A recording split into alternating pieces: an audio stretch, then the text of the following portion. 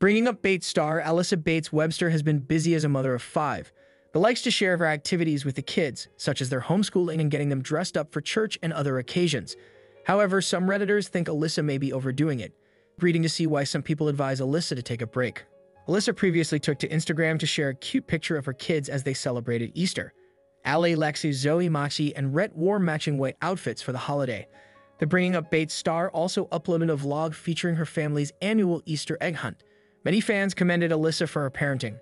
Some were also impressed by her idea of celebrating her daughter's birthdays on one special day. But some fans on Reddit think Alyssa needs to give herself a rest. Alyssa's recent IG stories post featuring her interaction with Massey, who was standing at the coffee machine. Moments later, the Bringing Up Bates star can be heard talking to her kids. However, the poster noticed that she sounded tired and frustrated.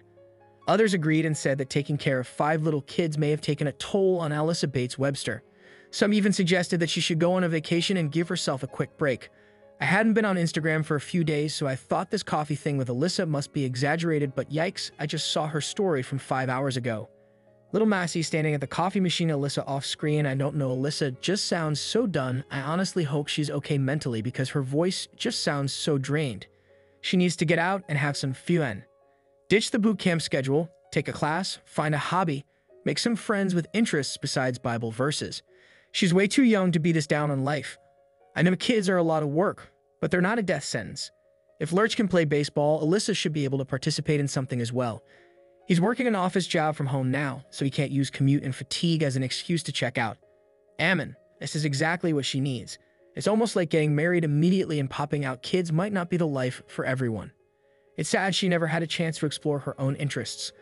Alyssa recently answered questions from fans on IG. One of them was about her summer vacation plans.